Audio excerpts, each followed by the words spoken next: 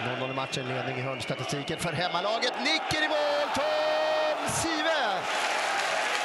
Han gör aldrig mål, Tom Sive. 1-0 J Södra.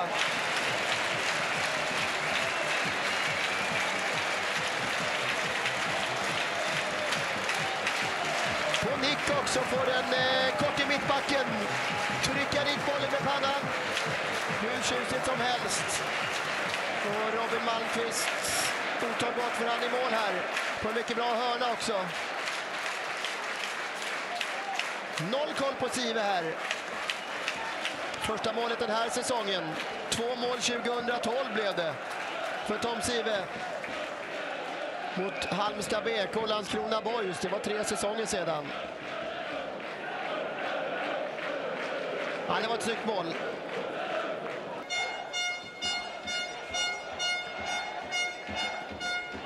Offensiv igen.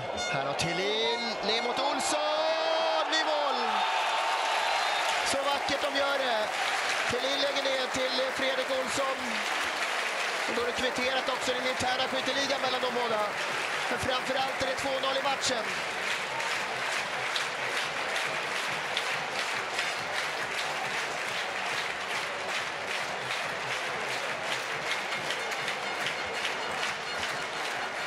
Han trivs, precis som Tommy Thulin, mot Assyriska.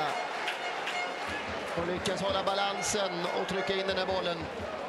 Trycka och trycka, han eh, placerade perfekt här vid bortre.